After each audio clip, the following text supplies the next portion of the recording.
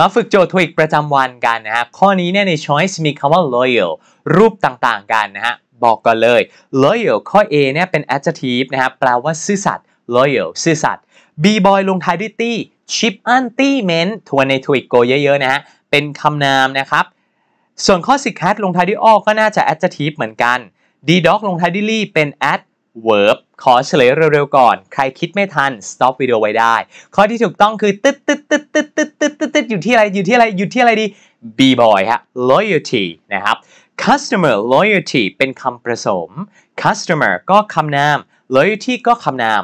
คำนามซ้อนคำนามได้ในบางครั้ง ได้ในบางครั้งเมื่อฝรั่งใช้กัน ถ้าฝรั่งไม่ใช้อย่าแต่งเองนะฮะอย่างคำนี้มีจริง customer loyalty หมายถึงความซื่อสัตย์ของลูกค้า เช่นลูกค้าคนนั้นเนี่ยอุดหนุนแบรนด์เนี้ยเป็นประจำเลย เวลาออกผลิตภัณฑ์ใหม่มา ก็รีบไปซื้อทันที แล้วก็แนะนำเพื่อนต่ออย่างเงี้ยถือว่าเป็น customer loyalty ได้นะครับ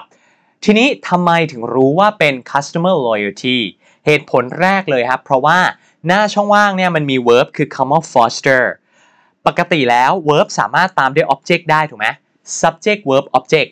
ดังนั้นไอ้ก้อนด้านหลังเนี่ยเดาว่าน่าจะเป็น object นะฮะ แล้ว customer มันจะคู่กับอะไรได้ก็ customer loyalty ถ้าเกิดนักเรียนคุ้นศัพท์นักเรียนจะเดาได้เลยมันต้องเป็น loyalty แน่นอนนะฮะ ก็คือสนับสนุนความซื่อสัตย์ของลูกค้าส่งเสริม ความซื่อสัตย์ของลูกค้าส่งเสริมการที่ลูกค้าเนี่ยมาอุดหนุนร้านค้าบ่อยๆ เดี๋ยวแปลทั้งหมดให้ฟังนะฮะเขาบอกว่า providing valuable valuable แปลว่าที่มีคุณค่านะฮะ products is one of the best ways to foster customer loyalty การขายของขายผลิตภัณฑ์ที่มีคุณค่าให้แก่ลูกค้าเนี่ยเป็นหนึ่งในวิธีการที่ดีที่สุด ในการส่งเสริม การความซื่อสัตย์ในแบรนด์ของลูกค้าพูดง่ายๆฮะผลิตสินค้าออกมาทำสินค้าให้ดีเลย ลูกค้าจะได้ประทับใจ จะได้มาซื้อของกับเราบ่อยๆทำให้เกิด customer loyalty ขึ้นมาได้ an กับ c cat ผิด เพราะอันนี้เป็น adjective adjective มักจะอยู่หน้าคำนามหรือหลัง verb to be นี่ไง verb to be เนี่ยครูเบิร์ต verb to be is เนี่ยมันไกลไปไกลไปนะฮะ adjective อยู่หลัง verb to be ทันทีเลย ถ้าไม่มีส่วนขยายมาแทรกนะฮะ ดังนั้นผิดแน่นอนนะครับ A กับ C cat ตัดทิ้ง Lee ก็ไม่น่าใช่ เพราะ disloyally เป็น adverb adverb อยู่ท้ายประโยคได้จริง แต่มันจะแปลว่าอย่างไม่ซื่อสัตย์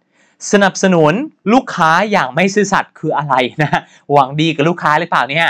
ไม่ได้ ตอบเป็น B boy ฮะ loyalty customer loyalty ความซื่อสัตย์ของลูกค้าหรือแปลง่าย ๆ คือการที่ลูกค้าเนี่ยสนับสนุนสินค้าของเราด้วยดีเสมอมานะครับ เดี๋ยวเราฝากคำคมทิ้งท้ายกันก่อน เขาบอกว่า never let an old flame flame แปลว่าเปลวไฟฮะ flame เปลวไฟ burn you twice twice แปลว่าสองครั้ง จงอย่าให้เปลวไฟเก่านั้น เผาไหม้คุณถึงสองครั้งสองครา อาจจะใช้ในเรื่องความรักก็ได้ หรืออาจจะตีความใน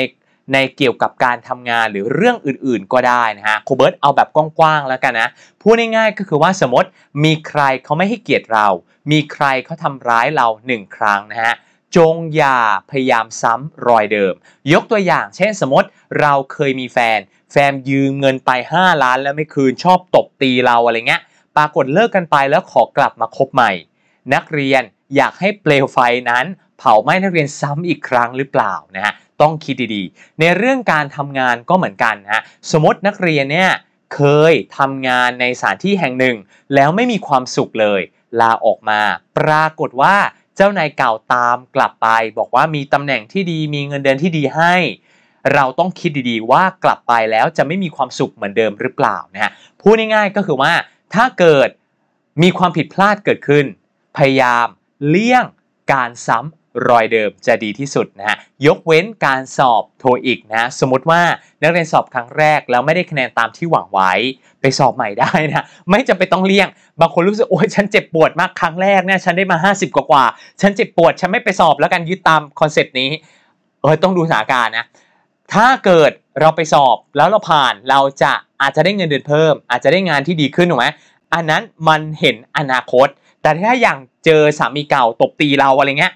ถ้ากลับไปอาจจะไม่ค่อยเห็นอนาคตเท่าไหร่นะฮะดังนั้นก็ดูสถานการณ์ด้วยอย่าไปยึดตามคอนเซปต์เป๊ะๆนะครับ เดี๋ยวเจอกันใหม่ในคลิปหน้าครับ